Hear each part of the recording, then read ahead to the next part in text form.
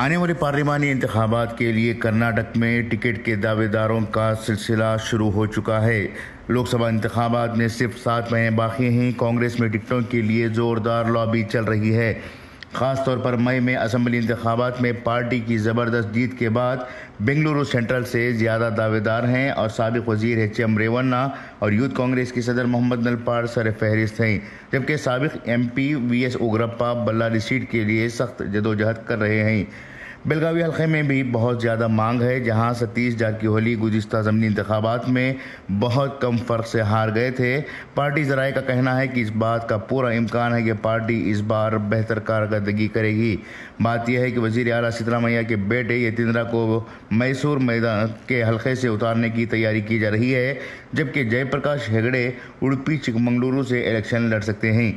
ये आईसीसी सदर मल्लिकार्जुन खड़गे गुलबर्गा के अलावा कोलार का भी इंतखब कर सकते हैं। कोलार के सबक M P K H Muniyappa, जो इस वक्त सिद्धरामैया काबीना में वज़ीर हैं, अपने हल्के से इंतखब लड़ने के ख्वाहिशमंद बताए जा रहे हैं।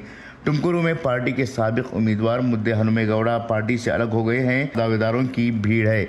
इस वजह से कि जी एस बसवराज वहाँ से इंतखब नहीं लड़ सकते।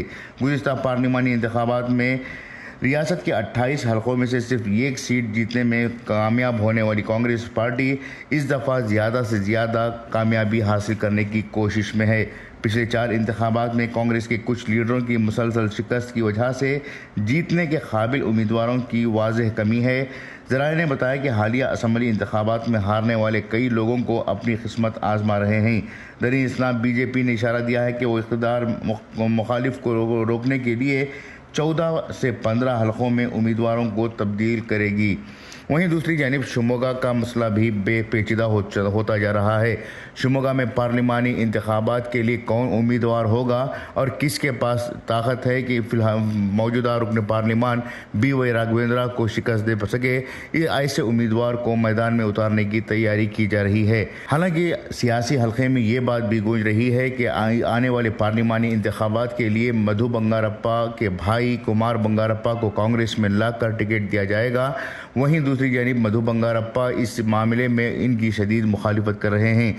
इनके अलावा मधु बंगारप्पा की बहन गीता शिव राजकुमार जो बंगारप्पा की बेटी हैं, उन्हें मैदान में उतारने की भी तैयारी की जा रही है। लेकिन मौजूदा रुकन पार्लिमान बी वाई राघवेंद्रा इस बात से मुतमिन हैं कि इनके मुकाबले में शुमोगा पार्लिमानी हल्के के लिए कोई उम्मीदवार कांग्रेस से मज़बूत नहीं है।